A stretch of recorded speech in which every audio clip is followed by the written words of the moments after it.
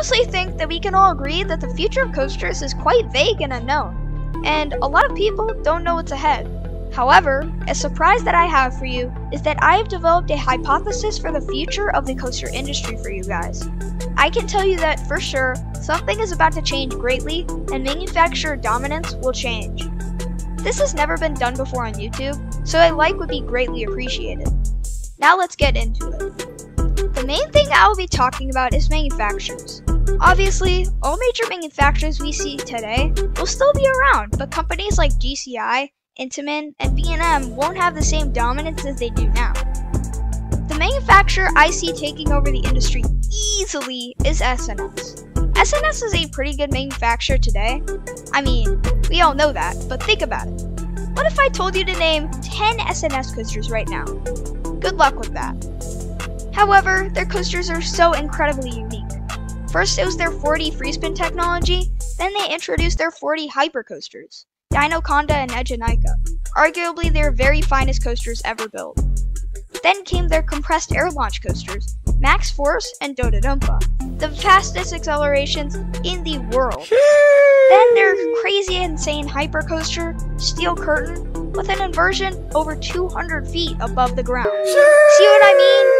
Now they have a literal launched axis coaster in the making. I mean, their innovations seem to be becoming limitless and are single-handedly pushing the boundaries of what is possible in roller coasters. When S&S pr starts producing new innovative models like crazy, I guarantee parks will buy their coasters left and right.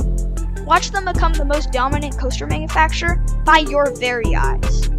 I also want to talk about manufacturers such as RMC, Mack, and Intamin. I already made a video about RMC, but they're the most dominant manufacturer at the moment.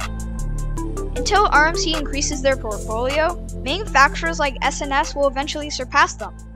However, RMC has the best hypercoasters in the world and possibly the first 500 foot coaster.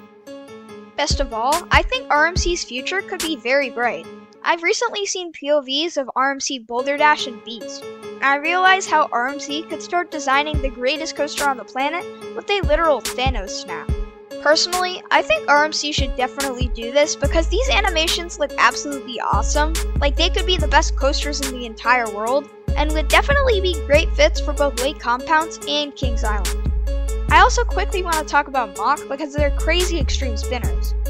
Time Traveler is one of the most consistently praised coasters in the US, and Ride to Happiness is Ride to Happiness. Mack showed the world how far they could take their extreme spinner with the success of Ride to Happiness.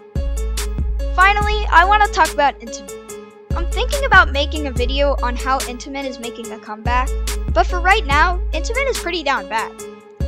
Their relationship with Cedar Fair is basically non-existent now, and Six Flags is too broke to buy an. However, Intamin has cleaned up almost every complaint thrown at them in the past on their recent compact Blitz coasters. I can see Velocicoaster type rides landing at many Cedar Fair parks and Herschend parks in the future. The actual last manufacturer I will be talking about is Vekoma. I think every enthusiast officially owes poor Vekoma an apology. After being trashed on for years, Vekoma rebranded their whole image. They went from painful SLCs and pointless boomerang clones to some of the most promising models in the entire coaster industry, offering hyper smooth experiences with very interesting layouts. Every enthusiast now wants these in the States so badly, it's kind of funny.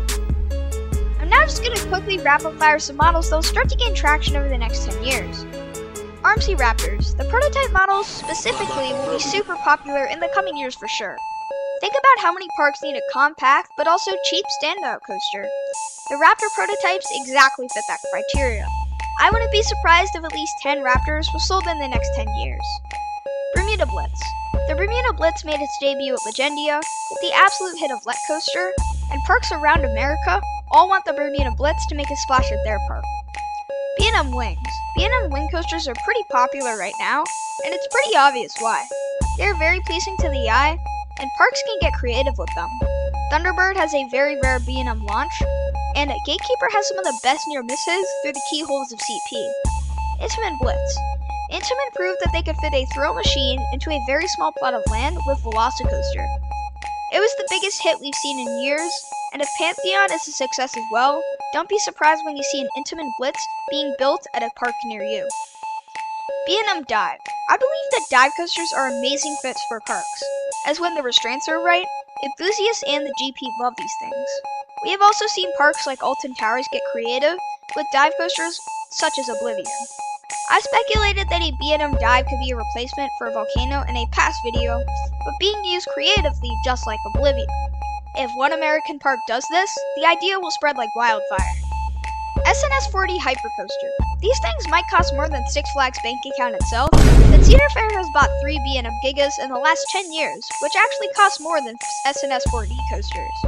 Chains like Cedar Fair, Herschend, and maybe even some independent parks could be interested in one of these if their park needs an intense standout coaster. S&S Axis. Last but certainly not least is the revolutionary technology of the S&S Axis.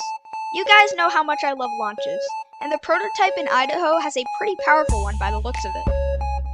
These look like they could be placed anywhere in an either out and back layout or a compact layout. Kinda sounds like another model we talked about, doesn't it? In my eyes, the future of coasters are really bright. Comment if you agree with me. Don't forget to sub, and that's all I have for today.